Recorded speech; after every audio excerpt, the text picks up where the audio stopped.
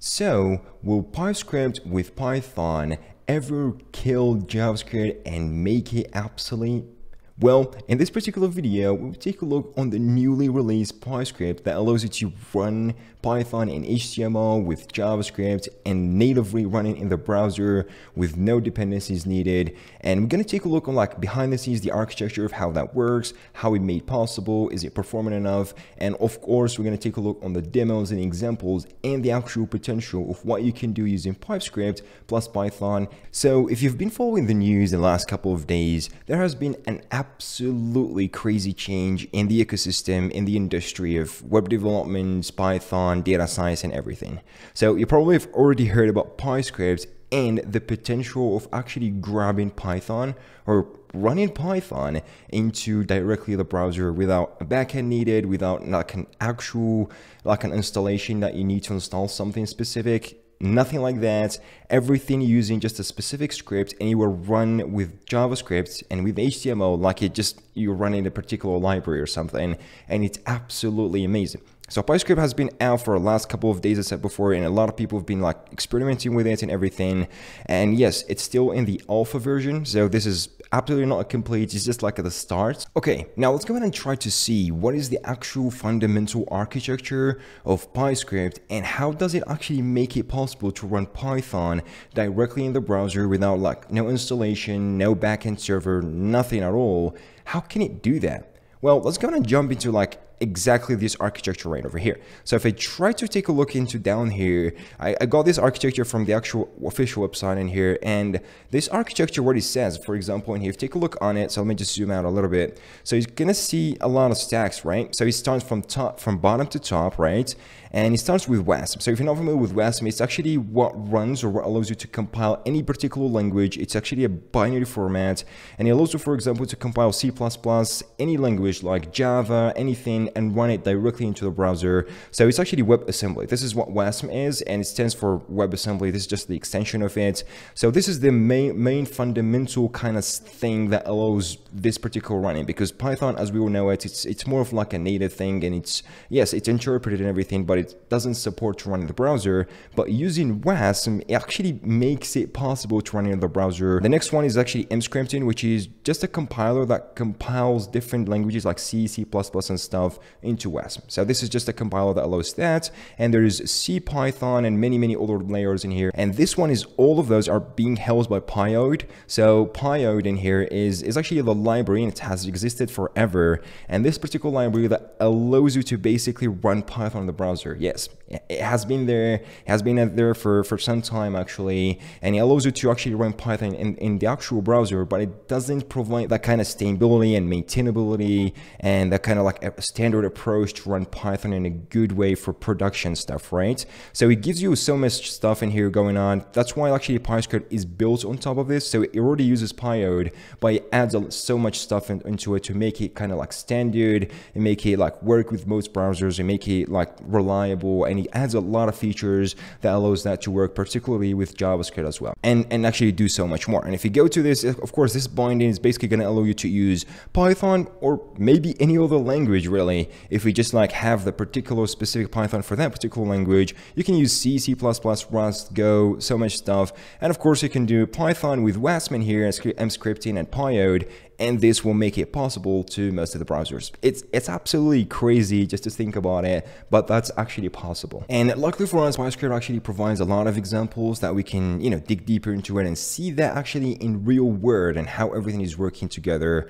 For example, it provides like a streaming demo in here to stream a bits of data and actually plot that in a graph. And it's it's actually pretty, pretty good in here with all that plotting and everything. It works really well uh, with performance. There are some degradations, of course, but this is is actually doable and does it absolutely great. And of course, this is very, very promising. And also what I want to talk about is actually the cons and what I don't like about this particular release because it's an alpha version and there are some bits and teeny tiny stuff that I don't really like. So for example, in here, you're going to find a really slowish kind of like experience when reloading the page and when doing that for development. So that's quite bad. And also it loads scripts from the CDN, which I don't really like. And it just kind of like, you know, it depends on the network and everything. So it's not really that good.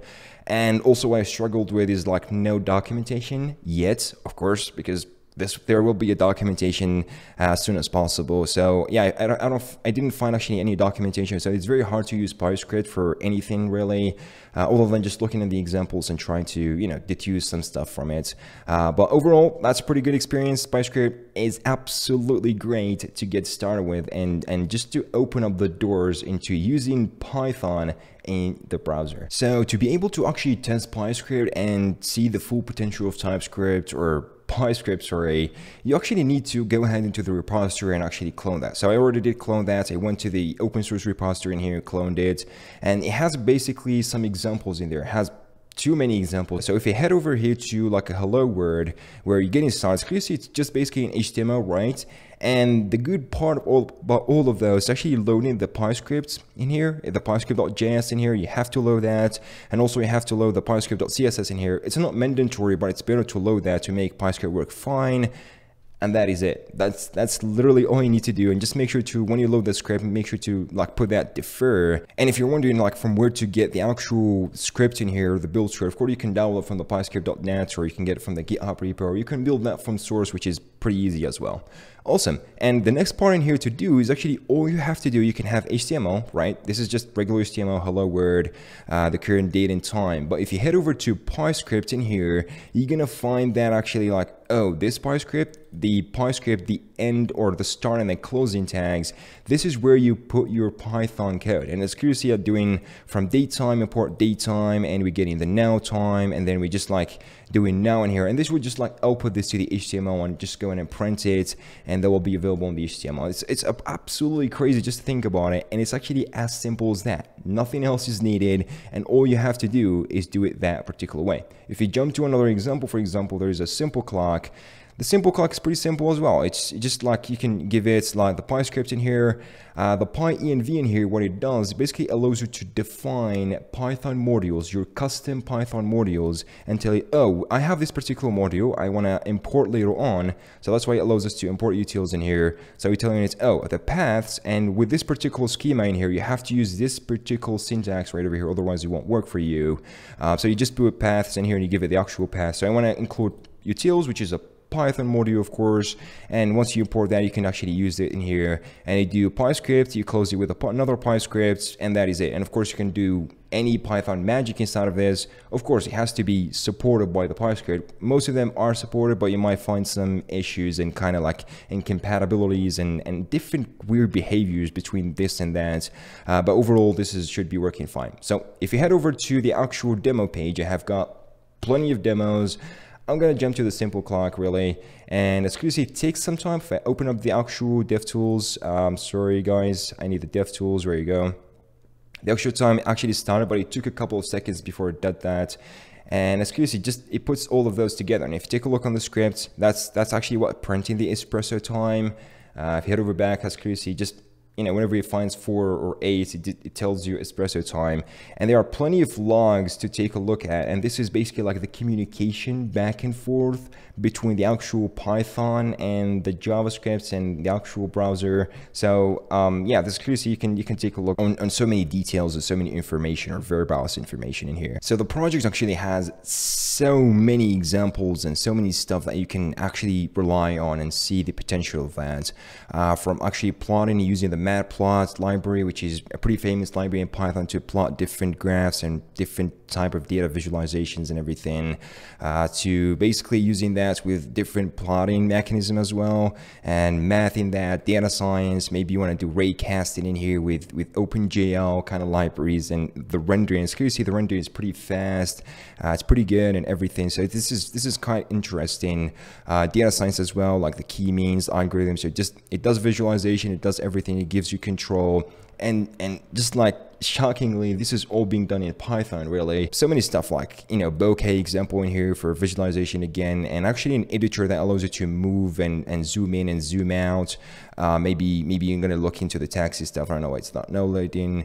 Uh, and most interestingly, what I found as well is actually this Mario game that you can play and actually jumps. I don't know how to jump. Sorry. So yeah, the the, the Mario game in here, as is because you can play and it's playable. Uh, has so many stuff. Bad at Mario, but you see just the potential of how all of those are being done and and how you can make that possible it's actually really really great and and all of that kind of stuff. So to see the actual potential of PyScript and will it actually just you know just give you a better experience compared to JavaScript for now and how does it integrate with HTML how does it integrate with JavaScript? Will you be able to use uh, DOM manipulation methods and all sort of stuff to basically to know if this is possible or not and to give it an experiment, what I try to do is actually to create this particular simple application in here, which basically goes into an API and it fetches a products, a list of products, like a 30, um, you know, different type of product from a RESTful API, of course. And I, I try to actually develop that and, and I actually you know, try to see how everything works. So it's in here.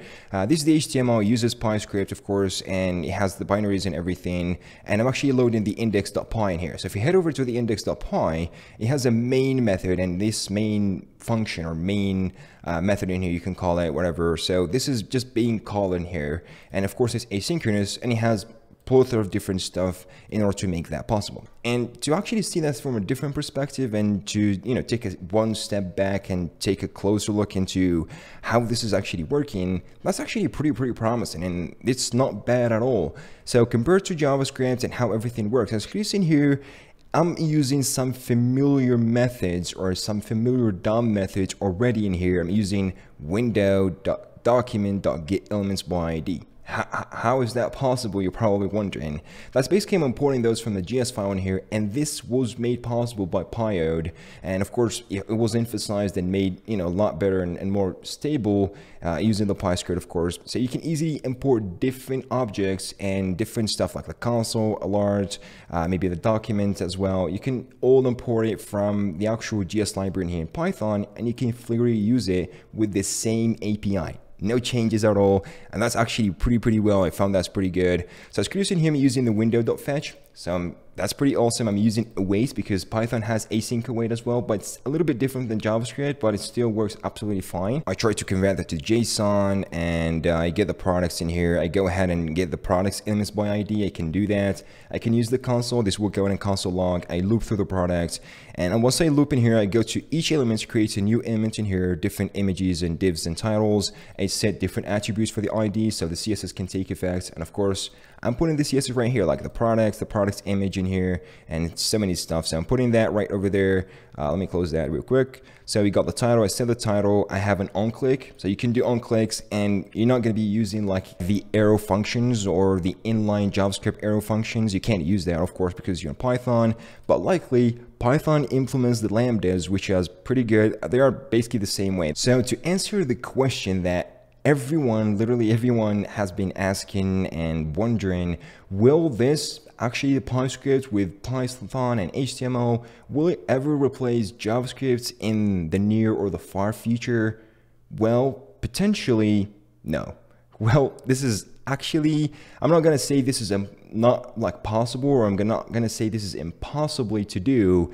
Yes, this will be an absolutely great technology. This will be an absolutely amazing. It open up a new doors. You open up new technologies. Uh, it's going to improve the performance. It's going to get rid of like, for example, you're going to have TensorFlow, machine learning, AI, PyTorch, all of those running in the browser natively using Python. And this is going to increase the performance like tons and tons. But still, JavaScript is is that very powerful language. And as we all know, familiar with JavaScript, it has so much libraries, so many of them. And in fact, JavaScript is like ranking the first in the world right now. And yeah, I, like you can't say just make a JavaScript obsolete or you can't get rid of it just like that. But yes, this is a very potential project really awesome. I'm really excited to see what's going to come up next. Uh, as of now, you can't make like really good tutorials or like can't go too deeper into this because there's no documentation and you can't explore this.